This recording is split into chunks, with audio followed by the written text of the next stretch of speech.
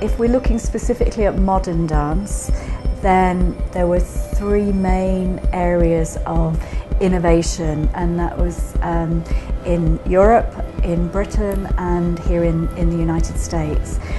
Here in America, it was actually two female uh, dancers, Loie Fuller first, and then Isadora Duncan, um, who are described as the first rebels against classical ballet and it was very much a physical reaction to the restraint particularly for the female classical dancer um, that they that they were challenging so their, their first um, uh, steps were to, to reform costume, to take the dancer, the female dancer, out of the bodice, to take them uh, you know, out of the toe shoes and all of the, um, the you know, sometimes deformities that they that can produce. However, there was another um, key dancer of that generation, Ruth St Denis.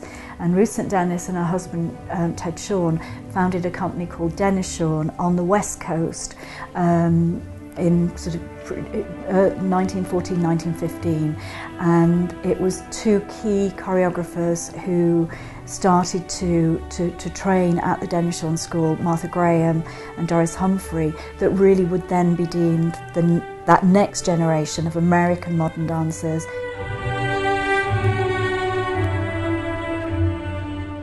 Surprisingly, UMS's first dance presentations were not modern dance. They were ballet and they were world dance. They were non Western dance. I believe the first time UMS presented a modern dance company was in 1963, and it was the Paul Taylor Dance Company.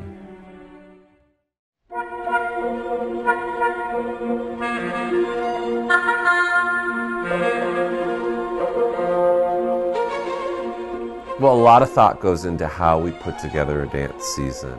Every year I want to tell a story in some small way about the diversity of what dance makers are creating right now, um, what the histories are that inform those dance makers that are making dance right now, and you know, give just a snapshot of work that's taking place internationally at the moment.